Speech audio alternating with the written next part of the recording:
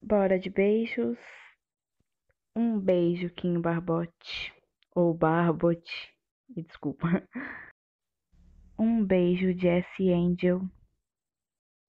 Um beijo, Cecília Medeiros. Um beijo, John Hosuki. Um beijo, Myungi. Um beijo, Lai Army BTS. Um beijo, Kim Sumin Solitária. Um beijo, Gabi Lobinha. Um beijo, Monseoki. E um beijo, Tia V Hope.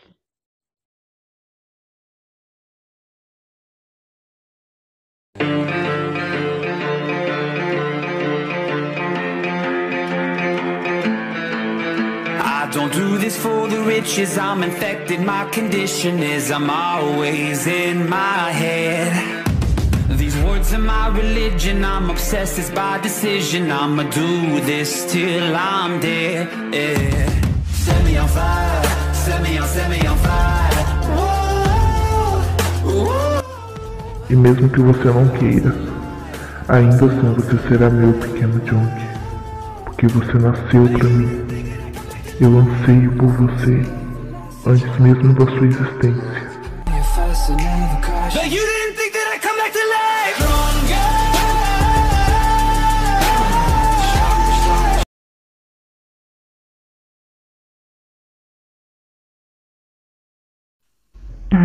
Obrigado por me trazer até aqui e também obrigado pelo celular novo. É o mínimo que eu poderia ter feito depois de ter quebrado o seu.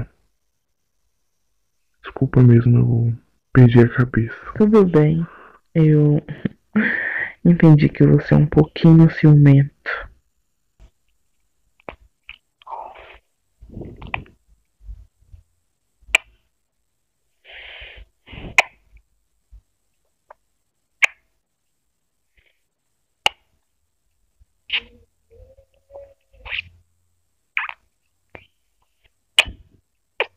Podemos nos encontrar de novo no próximo fim de semana? Se a minha mãe não me matar hoje, podemos sim.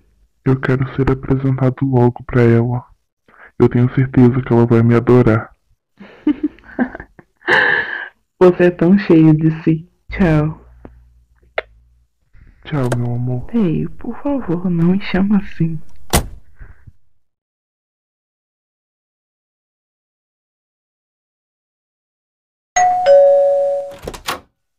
Olha só quem temos aqui. Quem é vivo sempre aparece, não é mesmo, Lucifer? E aí? Sentiu minha falta, irmãozinho? Ah, Nem um pouco. Os seus anos presos na jaula foram os melhores da minha existência. Acredite. Você acredita que foram os mais produtivos da minha existência também?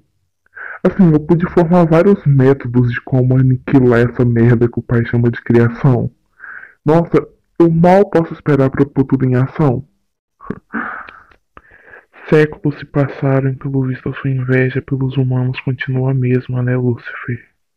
Eu, com inveja desses macacos pensantes. Me poupe, né, Rafael?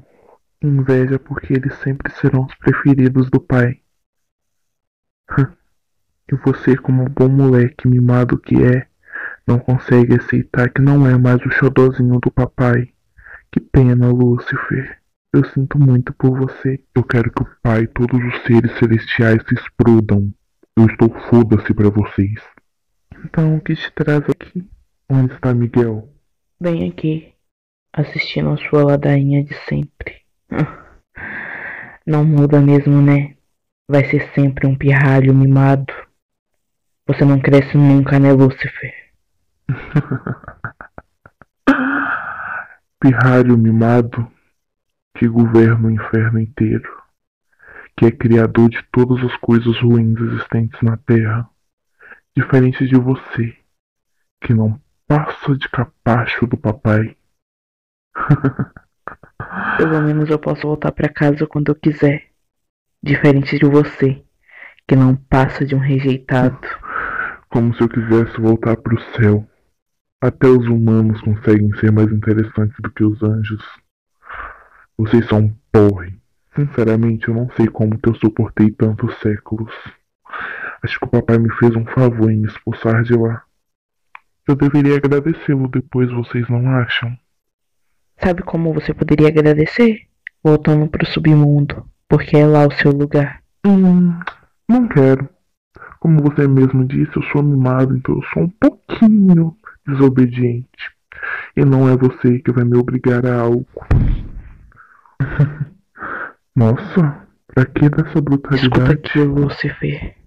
Eu não estou de brincadeira com você, seu moleque. Se você não quer voltar para casa, eu quero. E sinceramente, eu já estou de saco cheio de ter que pagar pelas merdas que você faz. Ah, meu filho, aí isso aí você reclama com o pai, porque eu não tenho nada a ver. Eu não mandei você ficar na minha cola enchendo a porra do meu saco, tá? Então, eu não me responsabilizo por isso. E na boa, eu não tô fazendo nada ainda. Ah, eu não sei porquê de vocês estarem tão exaltados assim. Eu nem comecei a brincadeira ainda. Você sabe muito bem que a gente está aqui por causa do garoto. Garoto, o qual eu vim pedir encarecidamente que vocês mantenham a distância, porque eu não quero ter que tomar medidas drásticas contra os meus próprios irmãos. Seria bem trágico, eu acredito. É a nossa responsabilidade proteger Janrosuke. Responsabilidade de vocês o caralho.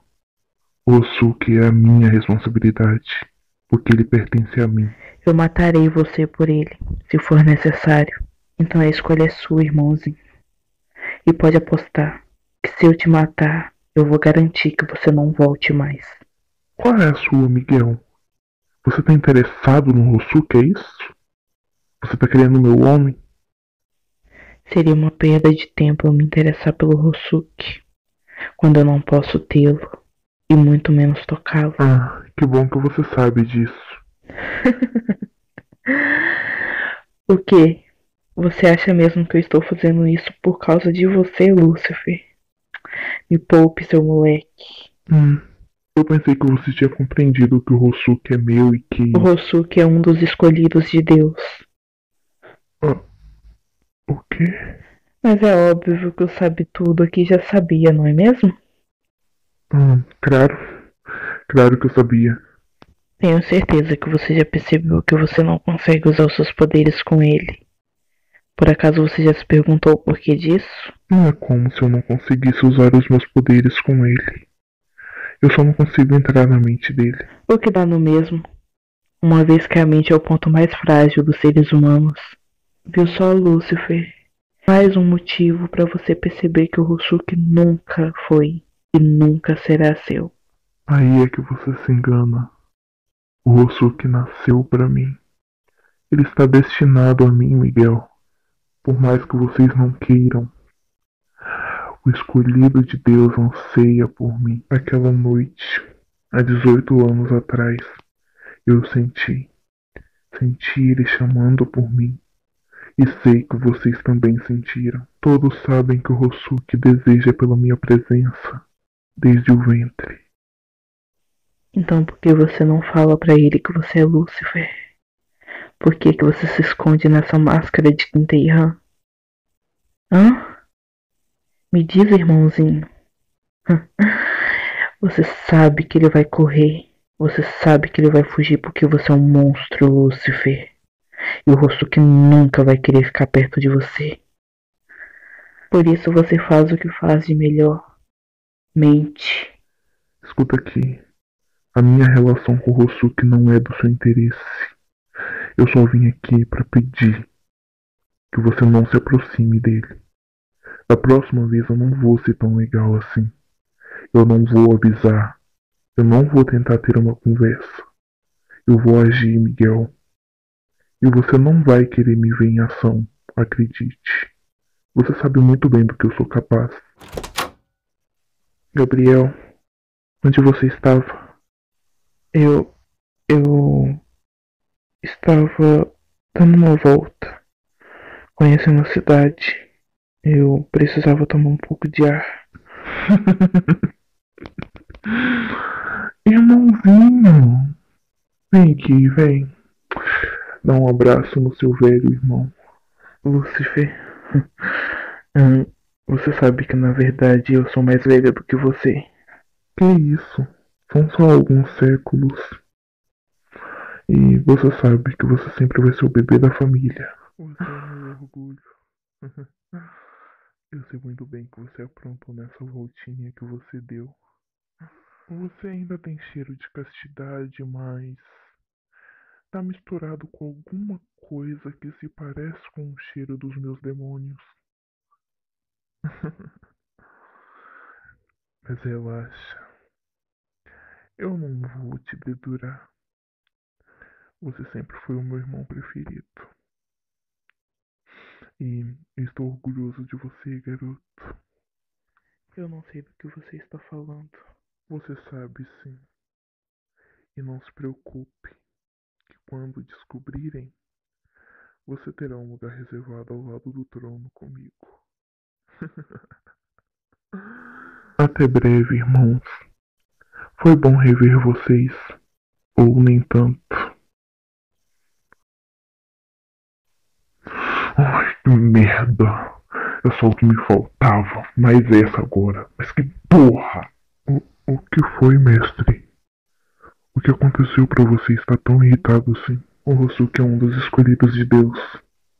Aqueles que são escolhidos para governar ao lado dele depois do julgamento final? É, é, essa ladainha aí mesmo que eu já te contei. Mas sabe o que é pior? Que ódio. O que? Que o Rosuki não entra no inferno com a maldita marca. Enquanto ele tiver com a marca, não tem como eu levá-lo. Mas essa marca fica em alguma parte do corpo dele, não fica? Você não percebeu isso na hora que vocês. Você sabe. A última coisa que eu tava olhando naquele momento era isso, Nandium. Não é como se eu transasse com o Rusuke procurando por uma marca deixada por Deus. E além do mais, a marca é muito bem camuflada. É difícil até mesmo para seres celestiais vê-la. E também não é como se eu soubesse como removê-la. Sabe por quê? Porque só o meu pai e o escrivão dele sabem como fazer isso. Mas que merda! Merda, que porra! Ah, saco! Nanjum, Traz uma alma qualquer para me torturar. Anda, se você não quiser ser a alma. Eu já estou indo, mestre. Eu volto logo. Com a alma.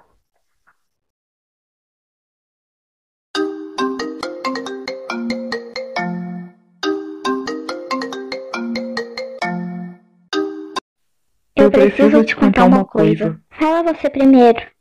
O que eu tenho para contar não dá para ser por telefone. Então, fala você primeiro. O que eu tenho para contar também não.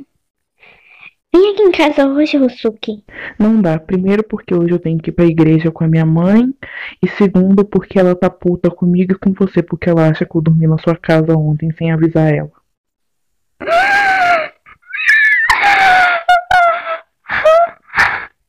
Espera aí. Você não voltou pra casa ontem? Rosuki.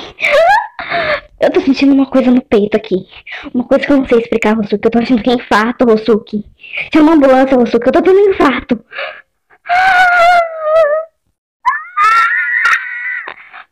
A gente precisa se ver urgentemente.